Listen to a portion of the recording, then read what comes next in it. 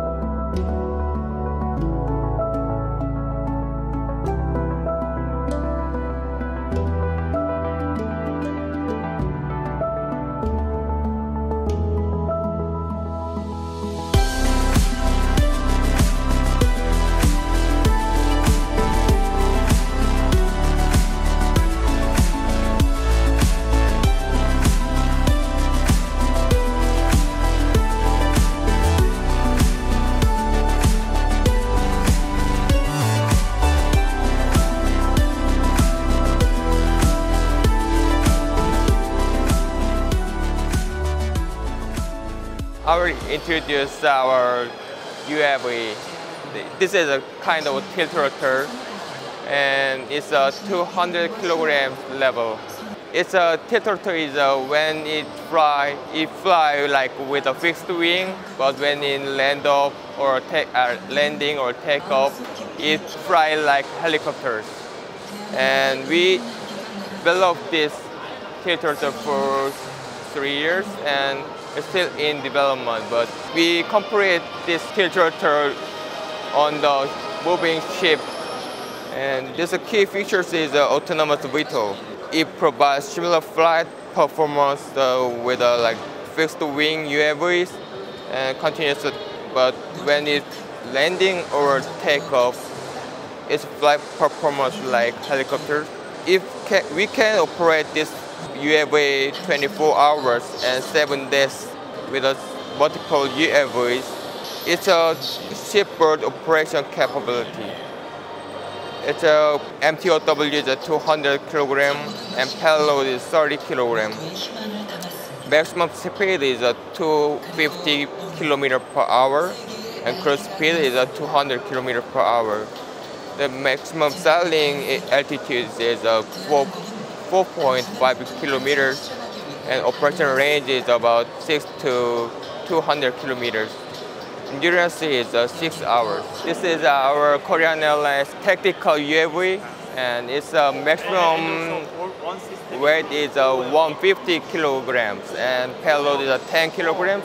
Its operation range is uh, about uh, 100 kilometers, but when we use another G GCS or GLS, we can extend its range like 200 kilometers. Its maximum altitude is 4.5 kilometers. Actually, this set is uh, consists of four aircrafts and two GCS. So we can operate this system with four, 24 hours and seven days. Its key features is a, we, it's a deep dive and steeper, steeping landing. So when it landed, we can stop it in 30 meters. So, and it's a deep diving angle is uh, like 13 degrees. So it's about more four times steeper than similar UAV. KUSVH is uh, converting manned MD500 to unmanned 500, MD100, 500. But it's uh, still OPV model, what you're seeing. But our goal is uh, converting it to the unmanned, unmanned UAV vehicles. Our goal is uh, using this aircraft by uh, for the ISR and some deli delivering heavy stuff. Its uh, endurance time is uh, endurance hours is five hours, and we can attach EOIR cameras by using two or four UAVs, we can cover 24 hours and 7 days with this system. By using the pilot's weight, we can add some additional payloads I mean, instead of the pilot's weight, such as missile and rocket armament. And we also attach advanced avionics and we can use these helicopters in nighttime.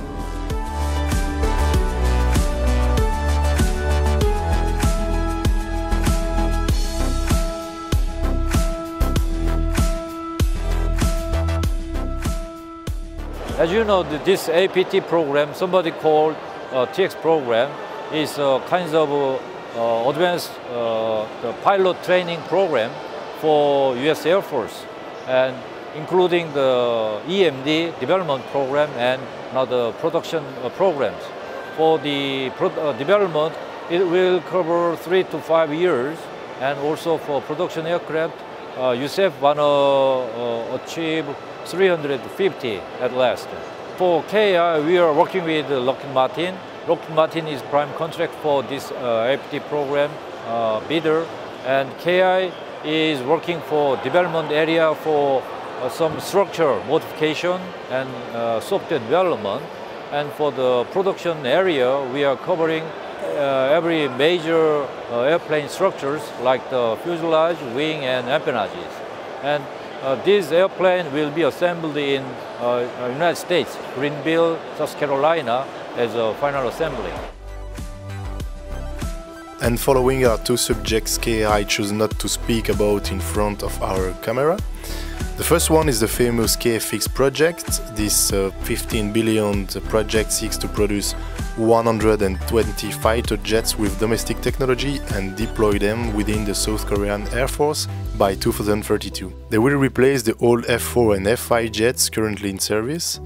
The country's Defense Acquisition Program Administration on July unveiled a prototype of an advanced AESA radar jointly developed with the help of Israeli company Elta. The KFX is to be powered by two General Electric F414 engines in a deal estimated to be worth up to 3.5 billion. If KAI never detailed a potential weapon package, the scale model showcased at ADEX 2017 is armed with AIM-9 Sidewinder air-to-air missiles and JDAM smart munitions.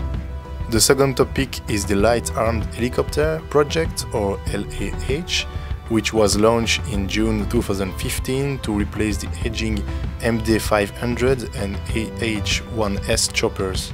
Based on Airbus helicopters H155, the LAH will become leading next-generation light rotorcraft in the 5 metric ton weight category. The scale model shown at ADEX is fitted with what seems to be a Ju-19 Gatling gun, two anti-tank guided missiles and a rocket pod, KAI aims to sell 1000 LAH and LCH, the civilian version, at home and abroad, creating economic effects worth around $20 billion.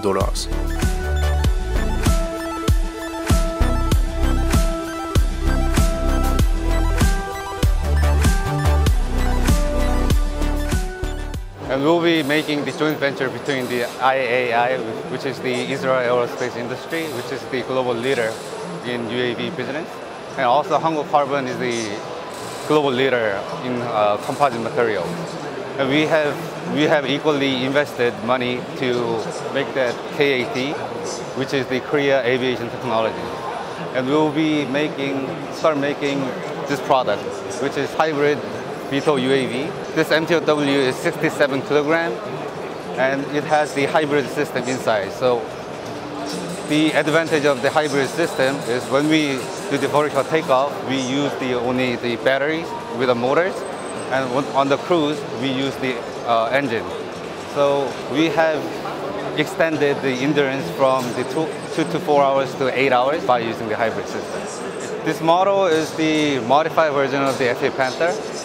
A previous version of FE Panther had uh, three motors uh, during the VTOL However, we added one more motors on the back to make it more safe.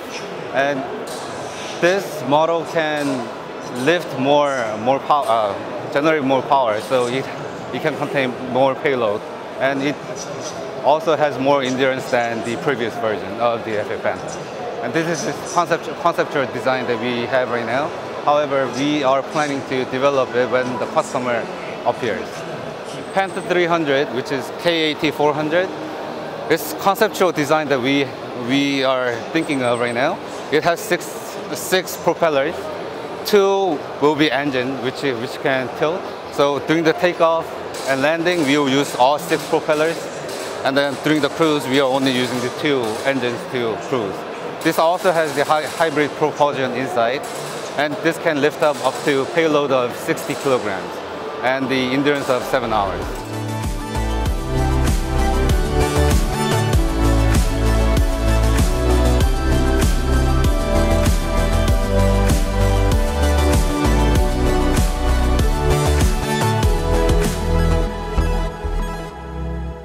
A small UAV, which called the you know the soldier can take care of some of the you know the airplane on the on the back, and then take the airplane and the monitor and the search uh, the 10 kilometers, 50 kilometers away.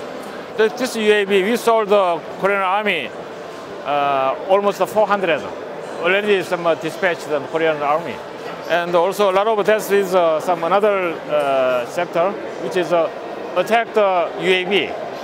And also we change not only military, some other commercial area and agriculture. And the TED, TED Rotor is one of the most uh, unique helicopter, uh, UAV, I mean the, the, drone, which go hanging around some one kilometer in the air, 24 hours. This is a, a really, a really sophisticated technology, which is uh, now developing on the support of our government.